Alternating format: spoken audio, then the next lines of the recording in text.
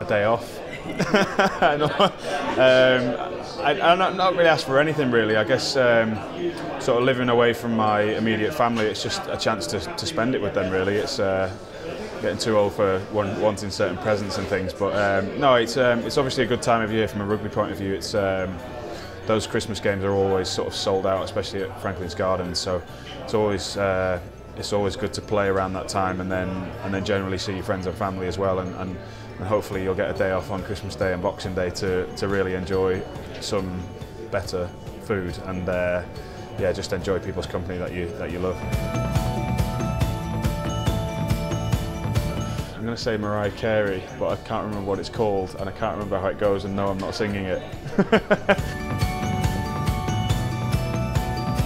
After Christmas, it's usually to stop eating chocolate um, and turkey and things like that. Um, I, I, never tend to make them really. I tend to set them out, set them out before the season, and, uh, and trying to stick to them as best as I can. So I'm not really what, a massive one for New Year's resolutions.